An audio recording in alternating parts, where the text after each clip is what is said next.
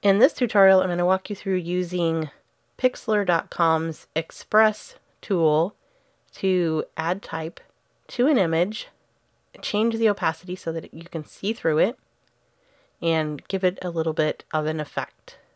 This is the result we'll end up with, and keep watching to see the steps to do this. We're at Pixlr.com. We're going to choose Pixlr Express, and we're going to browse and find our image that's going to be the base of this graphic. We're going to open it up.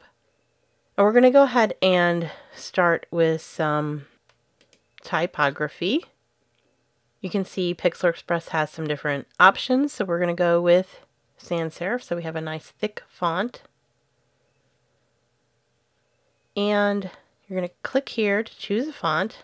We're going to go with Bebas, but you can zip through up and down, use these up and down arrows to figure out a different font if you want one. You're going to type your text in.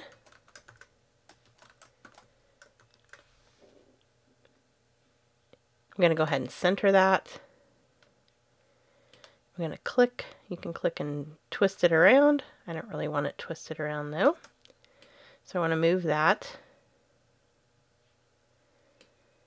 And if I want to scale it, I'm just going to click on that circle, scale it out.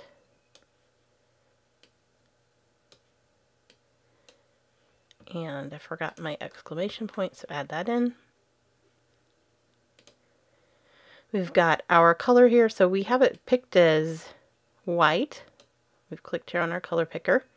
And then to change the opacity, we're going to use this little slider here. So you can see the opacity starting to change. And when you're happy with that, you want to click apply. And you could leave it just like this if you're happy with that. Or you can add some other elements. So let's add an adjustment. We can go ahead and do a vibrance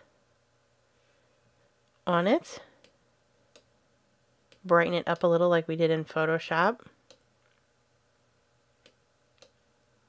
See okay.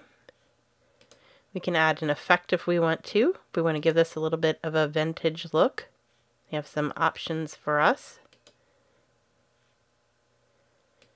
You can take that out and down, just adjust the sliders here to give it a little bit different look.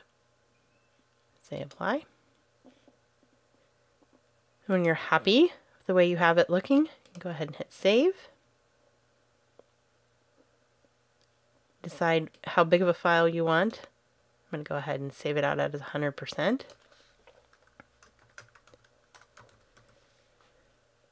Hit save, and it's going to locate it wherever you were last.